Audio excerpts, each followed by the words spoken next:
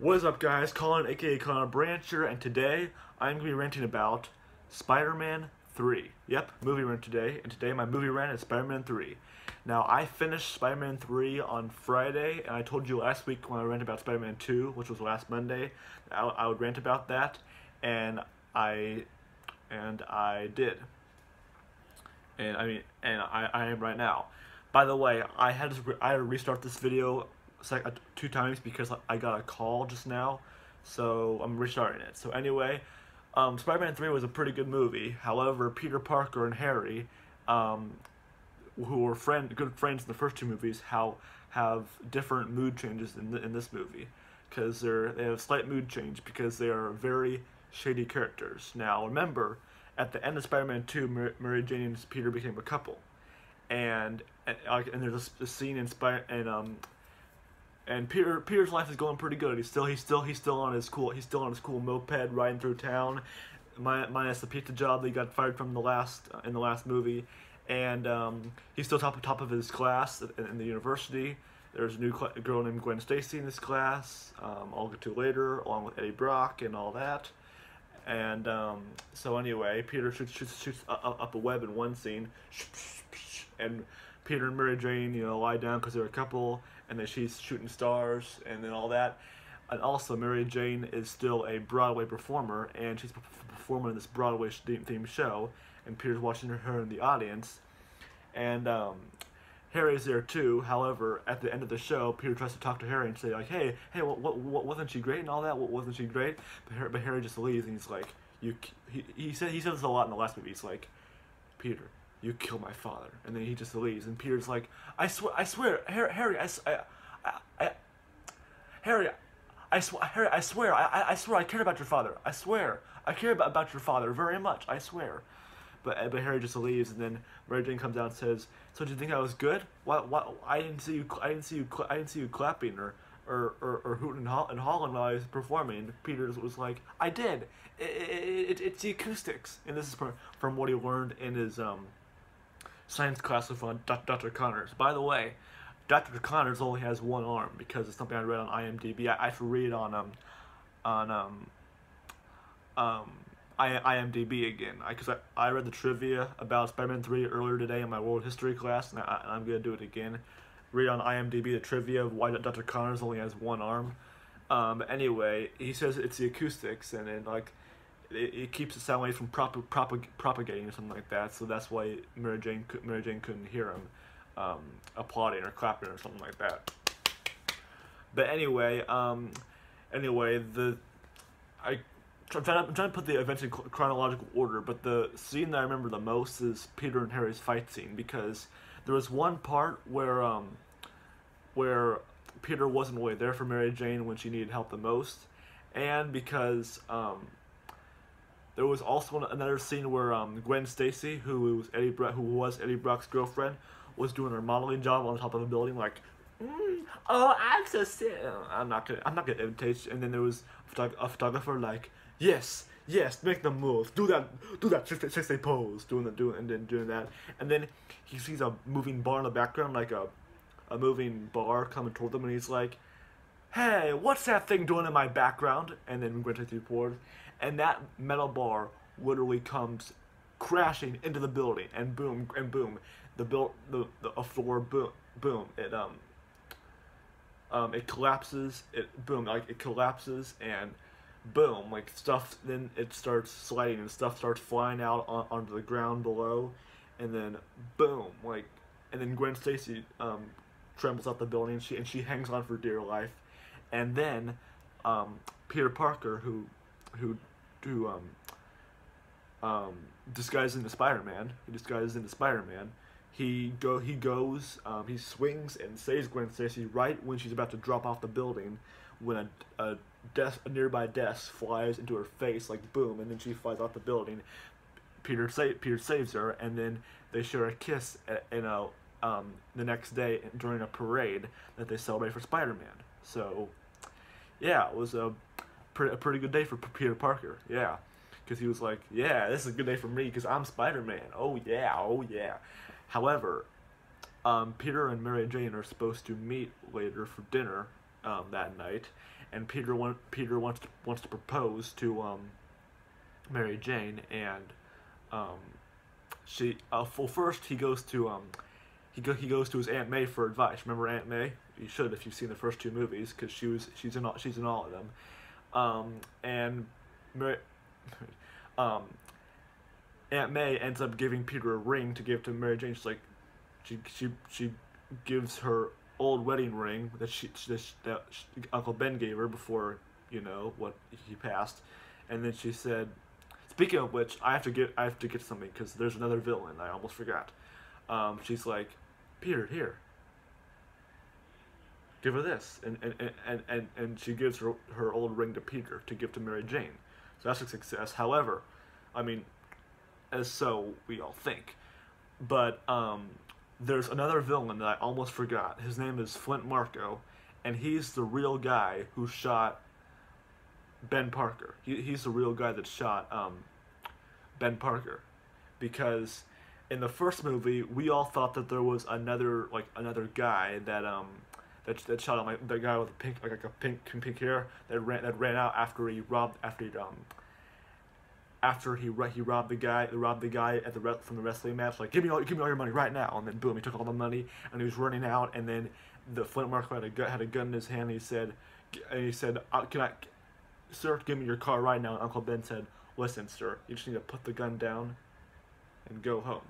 However he and he was going to but his partner ran out and and knocked Flint Marko in the arm and boom the gun the gun actually went off and shot Uncle Ben right in the chest so yeah, and then so the, Flint Marko was the guy who shot Uncle Ben, not the other guy.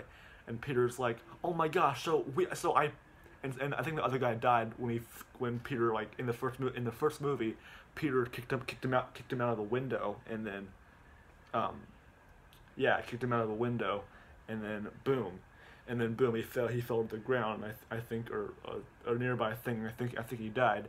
However, Peter's pretty um Peter and Aunt May later find this out at the um, pol- police department, the uh, police department, and Peter Peter gets very um, Peter gets very um, mad because he's like, oh my gosh, so I so I freakingly I freaking killed the wrong man. Now you're telling me there's there's, an, there's a, a, another guy out there who's still out there who killed my uncle, and he's and he's the uh, the the wrong guy is dead, but the right guy is still out there, and the, and Flint Marko is also a villain named Sandman. So every now and then, like his arms get, melt off into sand um, as opposed to something, or his whole, or either that, or his whole, whole his freaking whole body just turns into sand, and um, or he turns into mud in the series because like um, when Peter when Peter finds um, Flint Marko, he's like, "Hey, Flint Marko, remember Ben Parker, the one that you shot in cold blood?" And Flint Marko was like, "What's the matter to you?" And Peter's like, everything, and then boom, like they, they, they fight when a oh when, when a, when a nearby train comes through, they, they fight, they wrestle, they tackle, and then Flint Marko ends up like drowning, like he turns into like mud water and drowns into a sewer. However, he keeps coming to life throughout the movie, and um, oh, um, and then in a in a um, in a jazz scene sequence, because um, Apparently, um, Peter and Mary Jane meet for dinner. However, Mary Jane's still upset that Peter kissed um, Gwen Stacy that other day, and she's like, Mary Jane asks a good question. She's like, so, who who who really kissed Gwen Stacy that day, Spider Man or Peter Parker? And Peter Parker's like, what are you talking about? Spider Man, of course. And then Mary Jane's like, Mary Jane just leaves after that. She's like, I'm, I'm sorry. I, I'm, I'm sorry, I have to go. And then she just, and then she, she just leaves after that, leaving Peter like right right there in the desk. Like, oh my gosh, I guess she doesn't need this ring after all. And then he fishes it out of the champagne that was originally supposed to, you know. And then, um, sorry, this is why I'm, my handyman's here right now fixing fixing the lights. Anyway, so I have to be kind of quiet.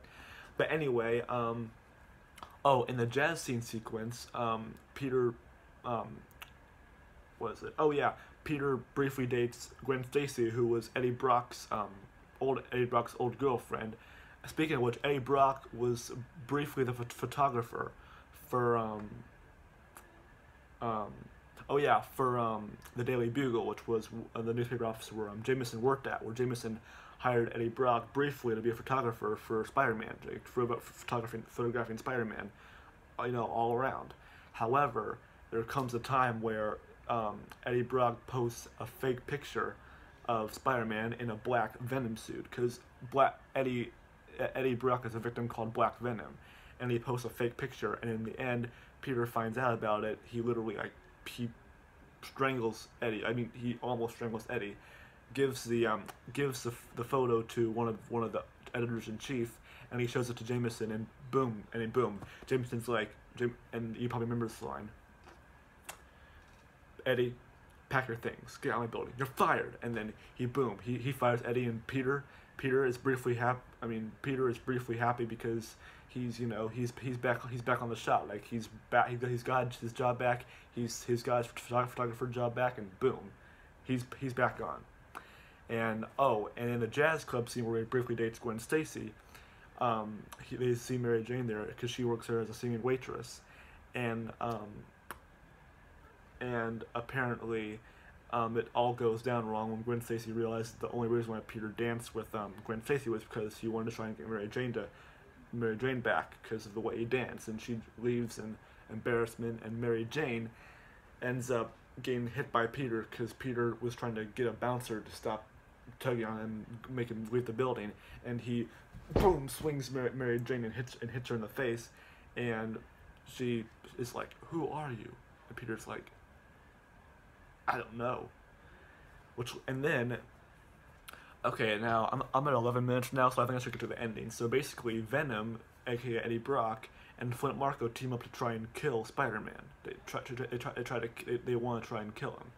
So um, Eddie Brock gets into, into a taxi and um, looks back and he's like, "Where to?" And then when Mary Jane looks in, boom, he be, he becomes um, uh, uh, Venom, and and then the next thing you know, the news news reporter comes on and says, breaking breaking news. A freaking a freaking yellow taxi is hanging 80 feet above the ground in a spider web, in a black spider, in a, in a, in a spider web, 80 feet above the ground. And so um, Peter ends up saving Mary Jane out of the taxi before it drops and almost kills Venom. Or, yeah, it didn't kill Venom yet.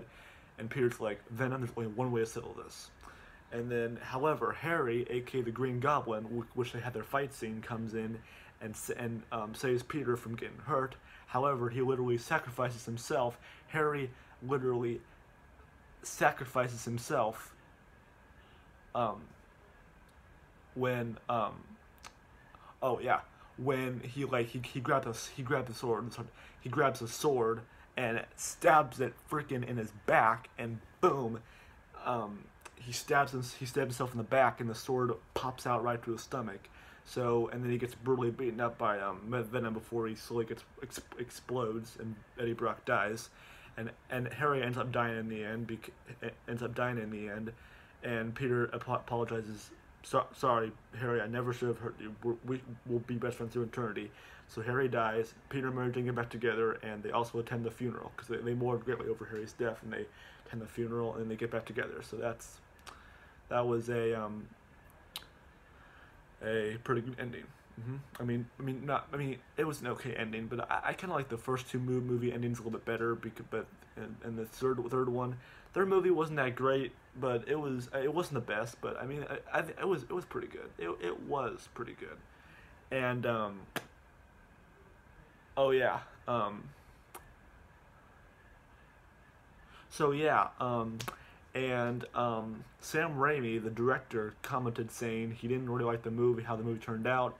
He um, Sam Raimi on IM, IMDb said he wanted to make a um, a um, uh, Spider-Man Spider-Man four uh, a Spider-Man four, but they never got around to making it because it was supposed to be made in 2011, but they never got it made. But apparently, um, didn't didn't work out that well. I mean, Tobey didn't Hollywood doesn't cast Tobey Maguire anymore, so it didn't work wouldn't work out. So so hope you enjoyed my rant over today. I am into overtime, so hope you enjoyed, and I will see you next time.